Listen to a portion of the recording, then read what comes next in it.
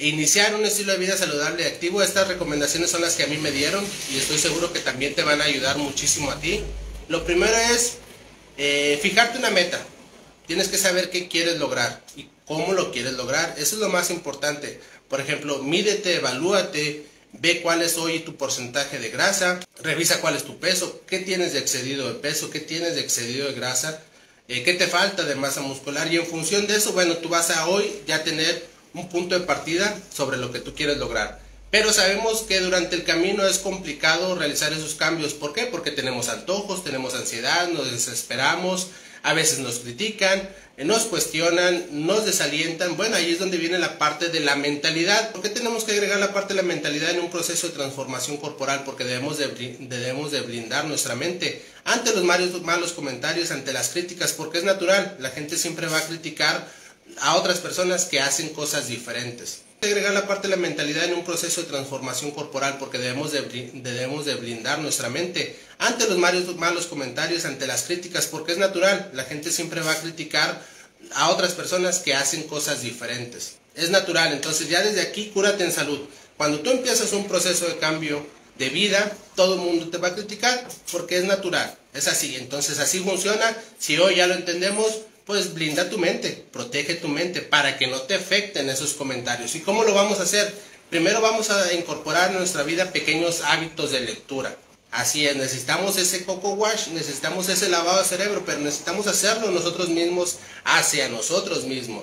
Necesitas leer, necesitas crear ese hábito de la lectura, necesitas incorporar lectura constructiva, necesitas libros de desarrollo personal, libros de motivación, libros de desarrollo que te permitan cuidar tu mente, porque este es tu activo más importante. Tu mente, porque este es tu activo más importante. Una vez que tú ya proteges tu mente, empiezas con la parte de la alimentación. Si hoy no tienes el hábito de comer saludable, empieza con una comida al día. No tienes el hábito de realizar una actividad física, empieza con una pequeña actividad que te permita sentirte bien. ¿Cuál es la mejor actividad física, la que más te gusta a ti? ¿Te gusta bailar? Sal a bailar. ¿Te gusta caminar? Salte a caminar. ¿Te gusta correr? Corre.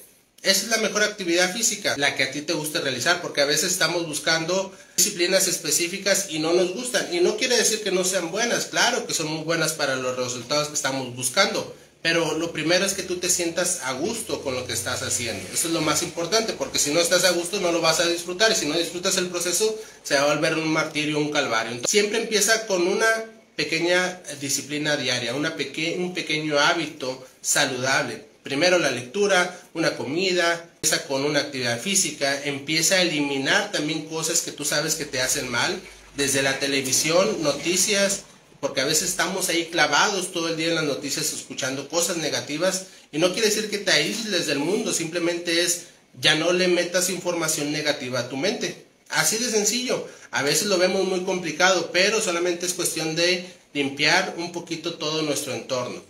No te vas a aislar, solamente es proteger, protegerte del exterior. ¿De qué manera? A través de la lectura, a través de la comida, a través de la actividad física, pero principalmente de lo que escuchamos y de lo que vemos. Entonces, si tú hoy estás listo para empezar un cambio de vida, un estilo de vida saludable y activo, empieza con estas pequeñas cosas. Incorpora la lectura, empieza a comer una comida saludable al día, empieza a realizar una actividad física y esto va a permitir que te pueda sentir, que tu cuerpo se pueda sentir muy bien para que puedas empezar a lograr otras cosas. Una vez que vayas incorporando estos hábitos saludables, vas a ir quitando hábitos negativos.